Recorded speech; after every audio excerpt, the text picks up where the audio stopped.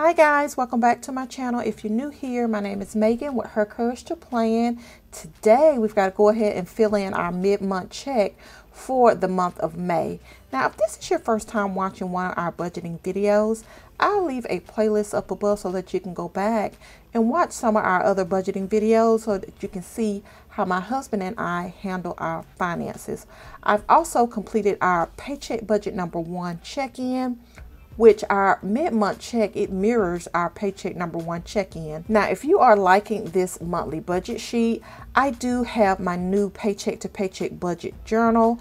It is a 12 month budget journal, guys. You get your bill due stickers and you get payday stickers as a bonus. And I also give you two different types of worksheets in your actual budget journal. You get the one with the savings section and you also get one where it has the savings and cash envelope section. So that just gives you a little bit of choice as part of your journal.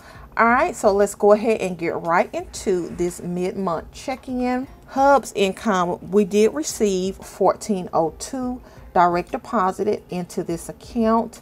And then for me, we received $700 direct deposit into this account. Now for our April rollover, that is part of our paycheck budget number two. So we are not accounting for that in the mid-month check. So we can go ahead and total 1402 plus 700. So thus far, we're at 2102 received in this account. And then for our giving, we end up giving a total of 402 at mid-month. And our mortgage 502 that was taken care of. Netflix 15.99 internet was taken care of. YouTube. Now electricity car insurance HELOC AT&T life insurance lawn service. Those are not due yet so I'm just gonna put a dash here. So when we get here to our groceries guys our groceries came in at a total of 371.97 which is amazing. I'm really loving that because you all know that the grocery budget is a tough one for us guys. So we are just happy to celebrate any wins when it comes to our groceries our house supplies, now thus far, we have spent $62.67. Now we were over for paycheck budget number one, but hopefully overall, our monthly budget that we should be um, well within that $100 monthly allotment. For gas, we have not gotten any gas, guys. We haven't been going anywhere, so we have been saving pretty good there. As far as our buffer, we didn't have to use our buffer. There was no expenditures that came up that we had not you know, try to account for. All right, so what I'm going to do is total these expenditures and I will see you back in a bit.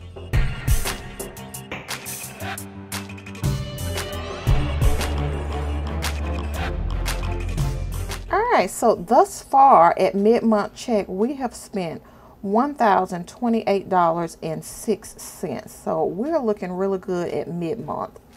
Now, as far as our savings, now the household that comes out at the end of the month is automatically transferred from our joint checking account to this joint savings account. So we don't have to worry about that. But the son's tuition and vacation, they were taken care of. So those totals are 150 and 100, $250 thus far.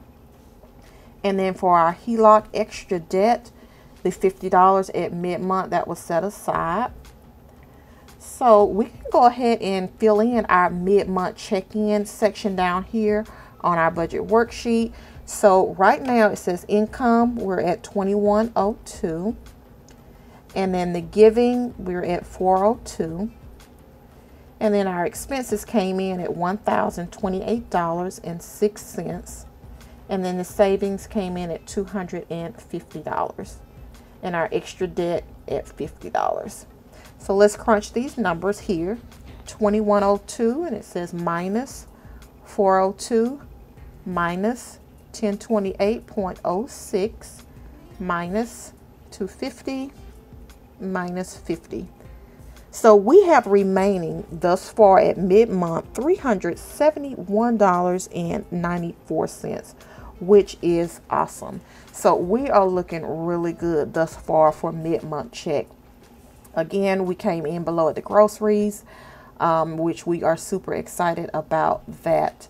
And so we are definitely below for the giving thus far. So hopefully we can end May on a positive note. All right, guys. So let me know down in the comment section, how is your May budget going thus far? All right, you already know the deal. I will see you later. Bye.